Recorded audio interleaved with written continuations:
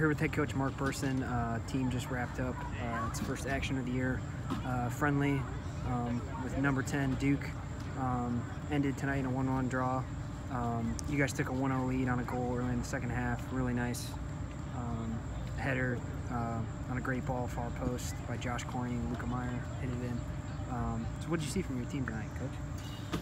Well, I think first of all, uh, you know, it was our first scrimmage, so against an outside opponent. So it's a little, you know, we had a lot of young players out there on the field. Um, you know, we started two freshmen on the on the back line.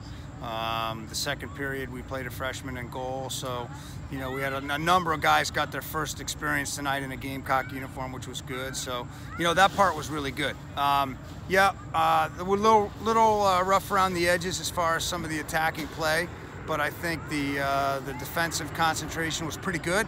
Um, we probably, you know, need to work on managing the game a little bit better. Um, but you know, this is this is all what you do early in the year. You know, it's just a, it's a process and this is one step in the process. Touched on a little bit, just how happy were you with the play of the young guys tonight, especially those young guys that played in that starting group the first half? Yeah, I think the young guys did a good job. I mean, I think first of all, uh, you know, Duke moved the ball really well. We knew that they would.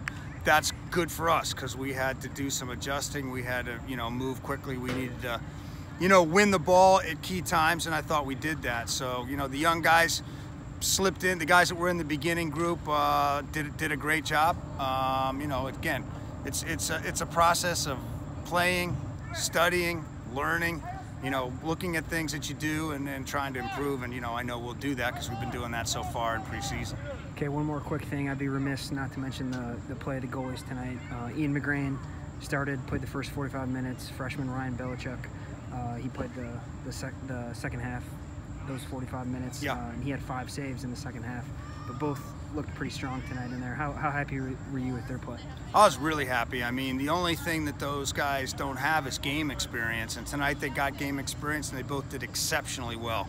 So, you know, uh, really, really proud of them. I mean, you know, you, you can't fault being beat on a, on a penalty.